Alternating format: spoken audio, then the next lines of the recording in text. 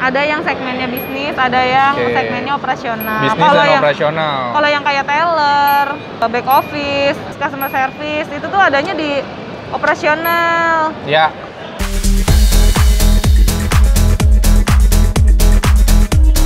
Hai hai hai. Ketemu lagi dengan kita.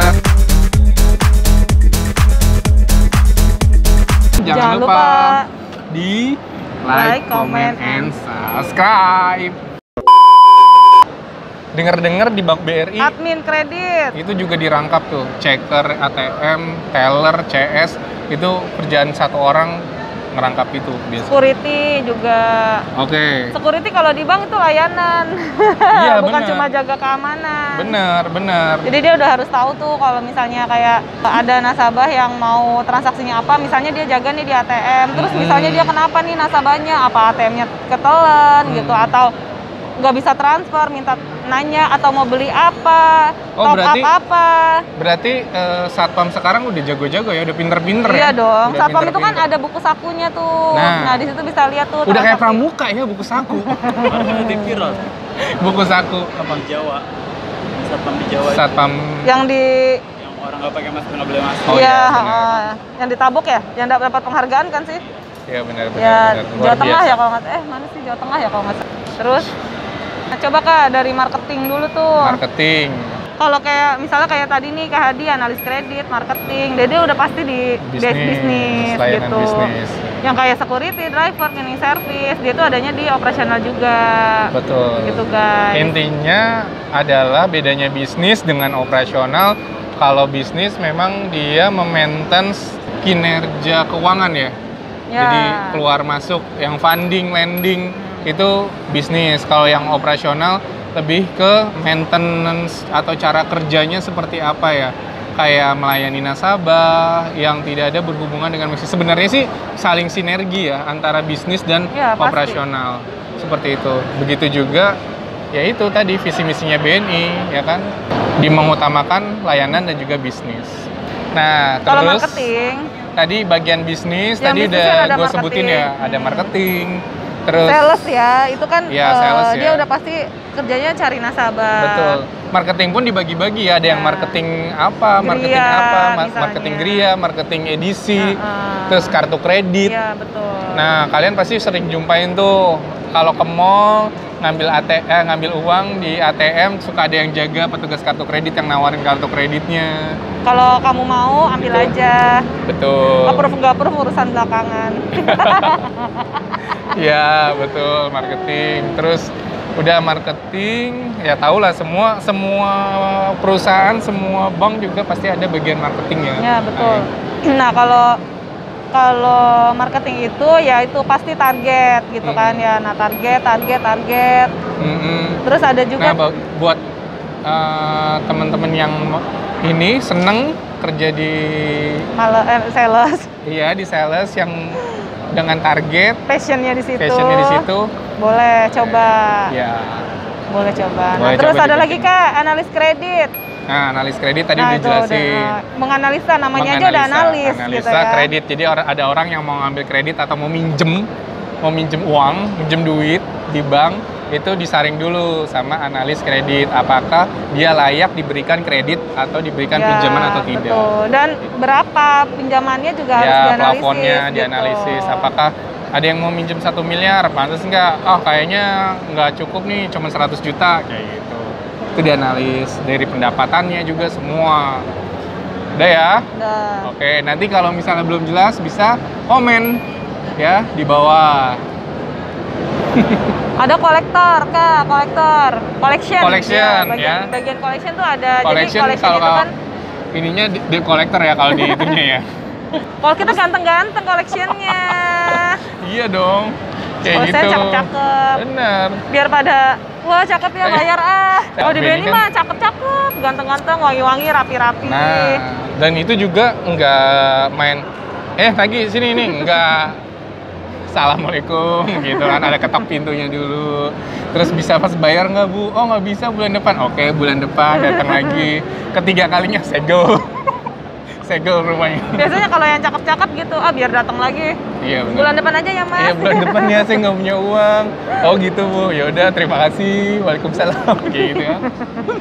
yang mudah-mudahan nggak pada macet-macet ya. Iya benar. Walaupun lagi pandemi. Karena ya gini, ya kalau misalnya kreditnya udah jelek, pasti sampai itu mau pinjem di bank mana pun atau di lembaga keuangan mana pun nggak akan bisa kalau udah jelek uh, rapot kreditnya itu ke- kerekam di BI semuanya mau minjem bank mana pun lembaga mana pun leasing mana pun itu- Walaupun yang minjem bukan kamu, tapi nama kamu yang dipakai. Nah itu tetap nama kamu Hati-hati. kan yang kita. Terus, iya benar-benar. Terus hati-hati juga ya nge-share data tuh. Sekarang tuh lagi marak banget penipuan penipuan apa? OTP, kode OTP, OTP itu ya.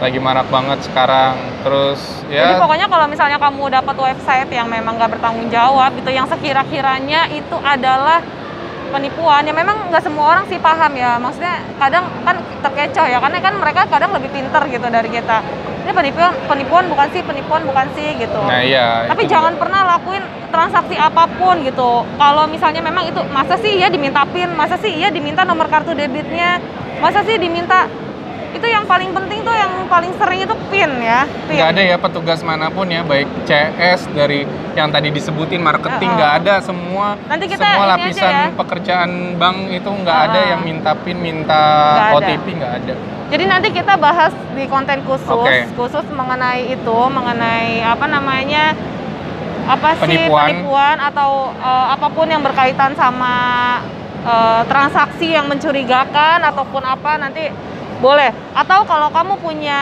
eh, pengalaman, misalnya kamu transaksi apa, Hmm. tertipu lah atau apa atau apa, nanti boleh di share di sini di komen. lebih sering juga ya kan Ya. yang ngadepin penipuan ya korban penipuan masih. Iya, masih ada aja. Nanti kita share, nanti kita share di sini biar kamu uh, tahu gitu Hmm. kalau itu tuh penipuan. Oh, saya pernah nih Kak, misalnya kayak gitu. Nah, itu nanti kita bahas di konten selanjutnya. Oke? Oke. Lanjut, Kak. Apalagi nih yang sekarang yang operasional. Operasional jadi kalau di kredit itu guys bukan cuma isinya sales aja gitu, tapi dia ada adminnya. CRM, CRO itu sama ya bagian dari Sama, marketing ya. iya. CRM, CRO yang mengolah keuangan eh, nasabah itulah bagian bisnis. Jadi teman-teman semua kamu juga eh, harus tahu bedanya bisnis dan operasional bagiannya bisnis dan operasional nanti saat melamar di bank itu jadi tahu job desk kalian juga apa tugas ka- kamu apa Biasanya jalurnya memang beda. Kalau misalnya yang bisnis kebanyakan emang jalurnya jalur ODP. Jadi Betul. misalnya kamu kalau kan ada tuh kadang-kadang kita buka yang untuk ODP gitu. Kalau Iya, kamu mau coba dan sesuai sama persyaratannya yang ada di situ kriterianya itu coba aja. Pokoknya jangan pernah nggak nyoba. Maksudnya karena kita nggak pernah tahu kalau kita nggak nyoba gitu. Kamu bisa bisa nggak ya bisa nggak ya udah nggak usah lah bisa nggak ya bisa nggak ya gitu kalau kamu nggak coba kamu nggak akan tahu kamu bisa atau enggak betul minimal kamu pernah coba Melamarnya di website BNI. Uh, Ya. terus Ya. melalui Kaliber.com. Kalau nggak salah. Kaliber, Kaliber. Pokoknya website resmi. Kalau untuk melamar itu eh, website pastikan resmi bni.co.id ya pastikan di website resmi ya guys ya. Website website jangankan website ya. Instagram aja tuh banyak Instagram. banyak penipuan ya maksudnya Instagram aja tuh banyak yang kadang kan kalau kita kan ada checklistnya ya.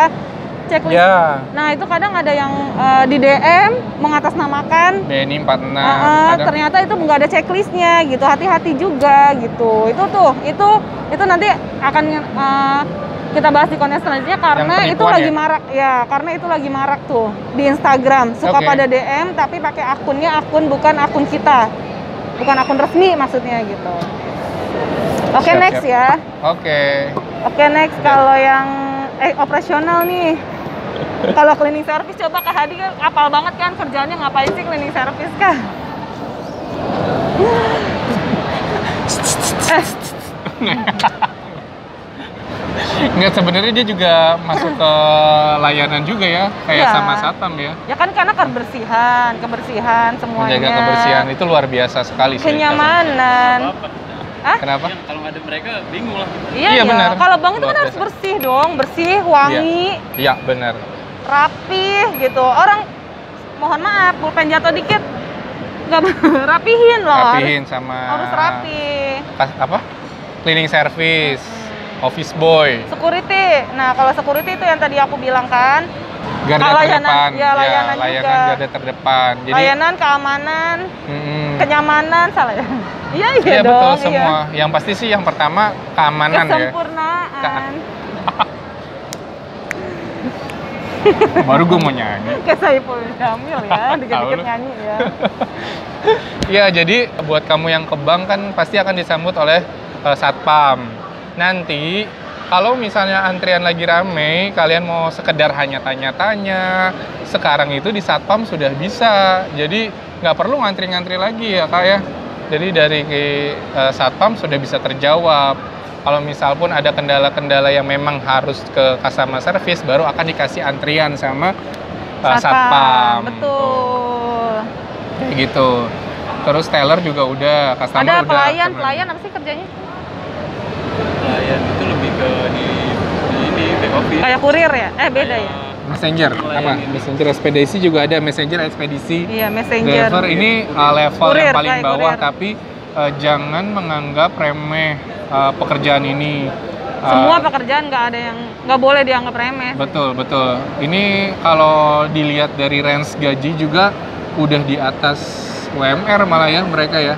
Gajinya hampir setara lah. Kalau dibilang angka, uh, mau teller, customer service itu nggak jauh beda sama satpam, Karena kan OB, kalau kayak si gitu. siapa namanya si messenger, supir. messenger ini kan eh, dia jadi bawa barang. Jadi misalnya nih ada barang yang harus jadi kan kita pusatnya kan di cabang utama. Nanti kalau misalnya ada barang yang harus dibawa ke cabang pembantu atau KCP itu nanti eh, dibawa sama dia. Jadi kalau di kita itu sehari dia dua kali eh, balik ke KCP dari KCU ke KCP pagi dan siang. Iya betul betul. Siang Berarti tugasnya sore. uh, Bawa misalnya apa ya. yang iyalah. Surat berharga ya malah. Iya. Warkat, clearing kayak gitu-gitu kan. Warkat, Iya, ATM. ATM betul betul itu kan gitu. Yang harus pokoknya yang harus harus dibawa-bawa ke KCP itu dia gitu. Kurir juga kan eh messenger juga itu kan gak hanya yang diantar di di cabang itu ya. Dia ada yang ke outlet-outlet wilayah. dari outlet-outlet ke cabang ya, atau ada kadang yang ke wilayah, betul. ya.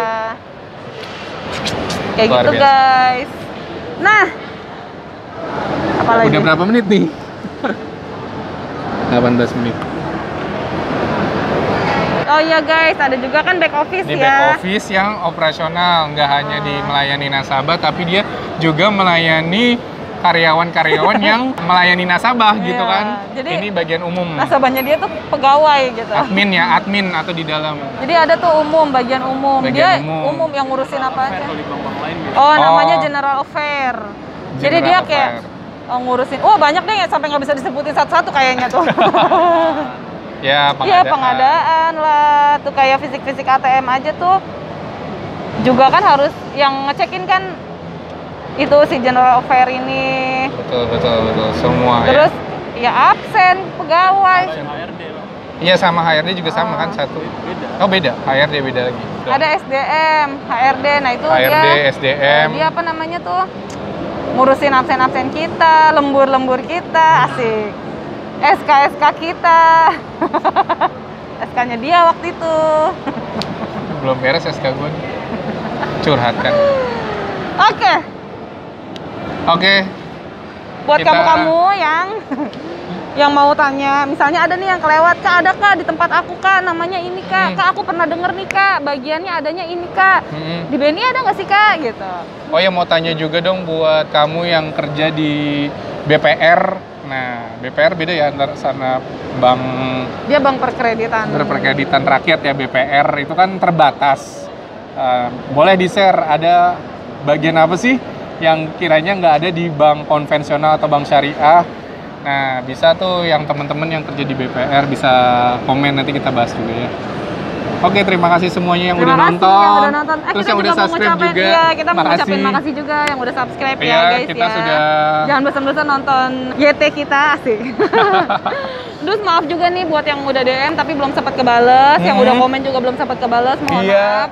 Tapi tetap kita dan baca, walaupun kita nggak nggak balas, kita tetap baca. Kita tetap baca. banget ya? Ah, karena itu semua Banyak pengalaman. Maksudnya eh, itu eh, banyak gitu, ada yang pengalaman, ada yang nanya gitu. Yang nggak salah gitu. Tetap Iya. tetap jangan lupa follow IG kita di sini. Terus jangan lupa juga subscribe pantengin terus IG eh, channel YouTube Erlandira. Jadi Mhm. nanti kita bisa bahas-bahas yang lain sesuai dengan komen-komen dari kamu dan pertanyaan-pertanyaan dari kamu. Oke guys, See you. see you.